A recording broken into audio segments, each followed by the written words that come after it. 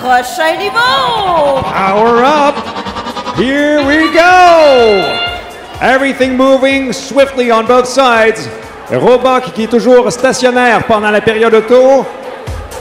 Est-ce qu'on a réussi à prendre euh, du côté des rouges? Il semble que oui, la mission auto est réussie. Un point de classement pour les rouges. And Mort trying to take ownership of that switch to prevent the red team from making too many points.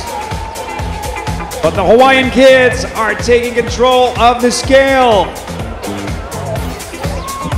Moving so quickly, Hawaiian kids coming back with the second power cube. There it is. The Red Alliance already double the points of the Blue Alliance.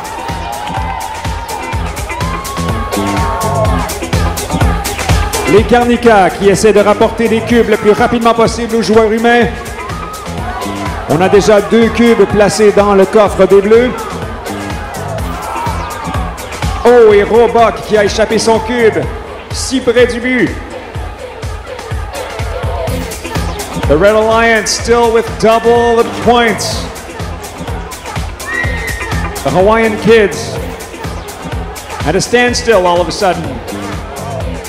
Et Mort qui ne bouge plus. Est-ce que sa batterie serait morte?